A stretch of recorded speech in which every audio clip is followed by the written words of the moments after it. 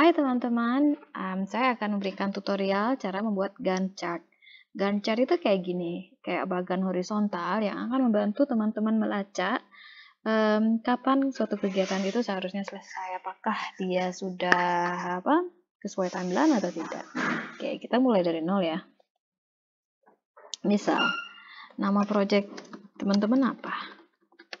Misal perpustakaan kita pengen tahu nih nanti um, durasi projectnya itu berapa lama. Untuk tahu durasi project berapa lama, kita perlu tahu kapan start date dan kapan end date atau tanggal berakhirnya.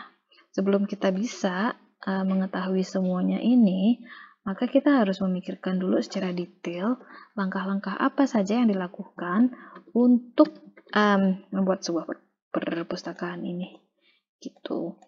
Terus durasi masing-masing kegiatannya itu berapa lama? Sama um, tanggal mulainya kapan? Tanggal terakhirnya kapan? Misalnya untuk membuat perpustakaan tahap pertama yang harus dilakukan itu adalah bertemu dengan dinas terkait misalnya. Setelah bertemu dinas kita harus melakukan survei sekolah. Setelah itu kita perlu melakukan um, renovasi ruangan perpustakaan. Kita perlu melakukan renovasi ringan misalnya. Lalu kita harus mengirimkan logistik. Kita perlu eh, melakukan monitoring sebelum kita bisa melakukan pembukaan perpustakaan. Oke okay. misalnya nih teman-teman udah udah melis nih kegiatannya apa? Sekarang tinggal dipikirin aja durasinya. Kalau bertemu dinas saya perlu dua hari kalau survei sekolah saya perlu 4 hari dan sebagainya. Tinggal diisi aja. Oke, tinggal diisi aja. Misalnya seperti itu. Oke, ini tentu saja teman-teman bisa sesuaikan dengan project yang sedang teman-teman jalani. Um, setelah itu, sekarang kita akan memikirkan start date-nya. Misalnya, saya akan mulai bertemu dinas tuh besok. Ya, itu tanggal 9, soalnya pakai sama dengan gitu ya. End date-nya kapan? Kan durasinya dua hari. Jadi saya tinggal tambahin aja. Ini saya tambahin dua. Beres. Kemudian saya survei sekolahnya kapan? Nah logikanya kan saya baru bisa survei sekolah setelah uh, saya bertemu dinas. Gitu kan? Jadi ini saya tambahin satu. Itu teman-teman tinggal drag aja turun. Ini juga. Hmm. nah beres jadi teman-teman udah tahu. Kita cek ya random uh, survei sekolah mulainya tanggal 12 sehari setelah ini selama 4 hari. Oke, okay, good. Ini terlihat bagus. Sekarang baru kita bisa uh, melihat berapa lama sih sebetulnya durasi yang kita perluin untuk buat perpus ini. Untuk lihat start date secara umum ini kita pakai nilai minimal dari ini. Itu kapan? Untuk melihat end date-nya kita pakai maksimal dari sini. Itu kapan? Oke dari tanggal 9 Januari sampai 3 Februari itu berapa lama? Kita tinggal kurangi aja. Eps. oke dan kita perlu 25 hari untuk menyelesaikan project kalau dia sesuai dengan timeline. Sekarang kita mau buat warna-warnanya dulu yang tadi itu loh. Oke kita mulai di sini tuh kan selalu sama dengan ini kan ya? Oke selalu sama dengan itu Nah, tapi um, saya tuh nggak mau tangannya tuh ke samping, saya tuh maunya yang kayak naik ke atas itu. Jadi saya tinggal klik kanan, setelah itu saya akan pakai format cell. Di bagian alignment, saya putar ke atas. Thread. Tas. Oke, okay, good. Tanggal berikutnya kan sebetulnya ini tinggal ditambah satu ya. Oke, okay, udah. Uh, ini nggak apa-apa Nah, nanti kita ubah lagi format alignmentnya nih. Kita tinggal drag ke samping atau teman-teman bisa pakai Ctrl R sampai tanggal 3 Februari. Ini karena ini udah bener belum ya?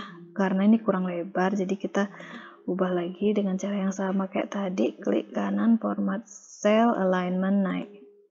Oke udah. Sampai tanggal berapa 3 Februari udah belum sih 3 Februari oke belum berarti kita masih harus tarik lagi tiga lagi Oke, udah. Nah, sekarang kita rapiin dulu. Ini kan kayak terlalu lebar gitu ya space-nya. Jadi kita perlu uh, sesuaikan lebarnya. Caranya teman-teman tinggal blok uh, ke format. Uh, setelah ke format, kita pakai auto fit column width. Nah, udah. Nah, oke. Okay. Kalau udah bisa kayak gini, teman-teman tinggal buat warna-warnanya itu kan. Kita mau rumusin dia. Kita mau rumusin dia. Kayak gimana caranya?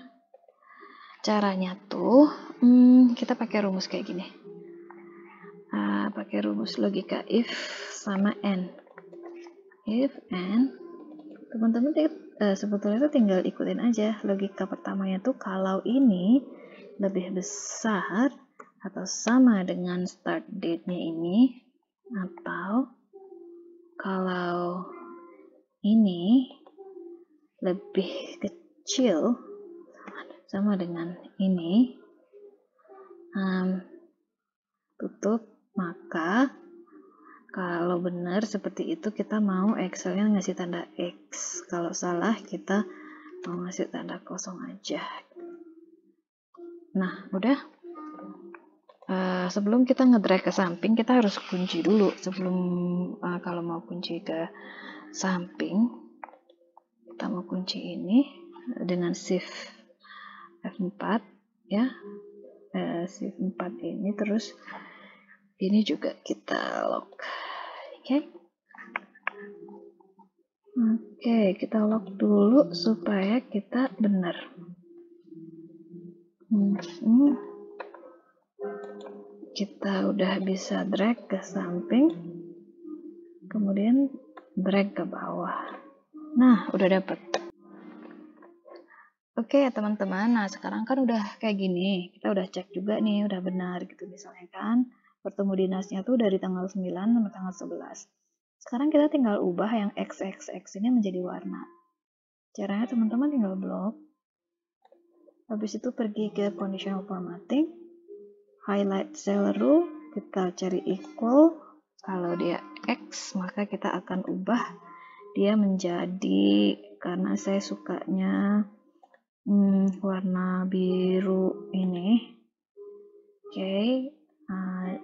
Dan jangan lupa fontnya juga diganti dengan warna yang sama supaya nggak kelihatan oke okay. udah selesai nah jadi kalau udah kayak gini, walaupun nih misalnya ini uh, misalnya nih ya, sorry ini ke ke ini. Uh, misalnya nih berubah nih kata kata bos, oh nggak bisa nih kita mulai bulan Januari, kita mulainya bulan Februari aja gitu, nggak masalah. Kalau kita mau ke bulan Februari kita tinggal ubah aja. Nah semua tuh udah ngikutin. Uh, Oke, okay. end date-nya juga kita nggak bisa uh, durasinya nggak bisa dua hari nih jadi empat hari jadi semua akan ngikutin juga dan tentu saja uh, dari 27 akan ke belakang lagi kalau misalnya bahkan nggak uh, ada orang dinasnya akan terus perpanjang dia durasinya gitu. Survei sekolah juga perlu banyak waktu. Misalnya survei sekolah malah perlu enam hari yang lain akan bertambah juga. Dan tentu saja um, semuanya akan nambah. Itu teman-teman akan perlu menambahkan sendiri di situ. Oke dia akan ngikutin. Makasih ya teman-teman. Semoga ini bermanfaat buat teman-teman. Jangan lupa kalau dibiasain kalau udah selesai kita rapiin tabelnya oke ini semoga berguna ya teman-teman tinggal dirapi-rapiin biar cantik oke ya jangan lupa subscribe kalau teman-teman punya pertanyaan atau pengen diajarin apa lagi gitu, nanti teman-teman tinggal ini aja. Tinggalin di komen. Oke, okay, thank you. Makasih.